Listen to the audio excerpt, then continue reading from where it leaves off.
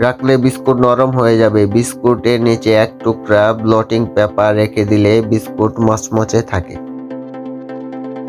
গরমে জিব্বা পুড়ে গেলে আদা চা চামচ চিনি পোড়া জায়গায় দিলে জ্বালা পোড়া কমে যাবে। রসুনের খোসা ছড়ানোর আগে কিছুক্ষণ পানিতে ভিজিয়ে রাখুন। অনায়াসে খোসা ছাড়াতে পারবেন। আপেল কাটার পর কিছুক্ষণ রেখে দিলেই তা কালো হয়ে যায়। সেটি এড়ানোর জন্য কাটা আপেলের উপর লেবুর রস ছড়িয়ে দিন, কালচে হবে না। হাত পুড়ে গেলে দ্রুত টুথপেস্ট অথবা পাকা কলা মেখে পোড়া স্থানে লাগান, জ্বালা কমে যাবে।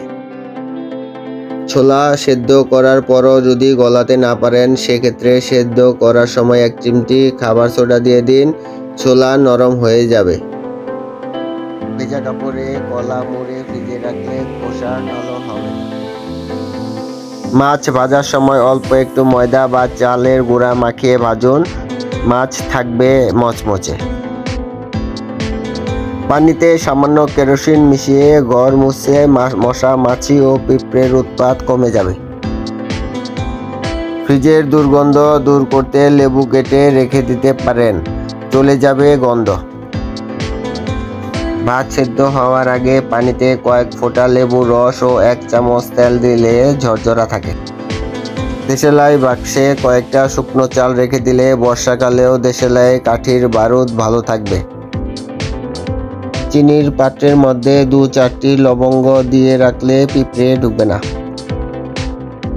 অ্যাকোরিয়ামের জল ফেলে দেবেন না, গাছের গোড়ায় দিন, সার হিসাবে চমৎকার কাজ করে। ডিটারজেন্টের সঙ্গে একটি লেবুর রস ও এক চামচ ফিনাইল মিশিয়ে বাথরুমের টাইলসে ঘষে দেখুন কেমন ঝকঝক করে।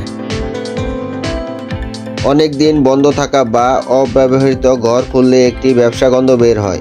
দু তিনটি দেশালাই কাঠি জ্বালালে দুই তিন মিনিটের মধ্যে ঘর থেকে গন্ধ চলে যাবে। ফ্রিজের গায়ে দাগ ধরে গেলে স্পঞ্জে, টুথপেস্ট লাগিয়ে ঘষুন, দাগ উঠে যাবে। চশমা পরিষ্কার করতে হলে এক ফোঁটা ভিনিগার দিয়ে কাচ পলিশ করুন।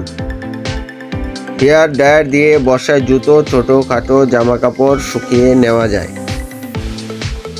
কাঠের আসবাবপত্র ঠান্ডা চা পাতা, ফোটানো জল দিয়ে পলিশ করুন, ঝকঝকে হয়ে উঠবে। ব্যবহারের পর বাইসাইকেলের ভিজা কাপড় দিয়ে মুছে রাখুন, সহজে কাটবে না। রাতের দিকে বেসিনের পাইপের মুখে মাঝে মাঝে আধা কাপ ভিনেগার ঢেলে দিবেন। সকালে দু মগ জল ঢেলে দিলেই বেসিনের পাইপ পরিষ্কার থাকবে। ক্যান্ডেল হোল্ডারের মোমবাতি বসানোর আগে একটু তেল মাখিয়ে নেবেন। ফুরিয়ে গেলে জমা মোম তুলতে অসুবিধা হবে না। বন্ধুরা, আরও গুরুত্বপূর্ণ তথ্য জানতে আমাদের সাথেই থাকুন।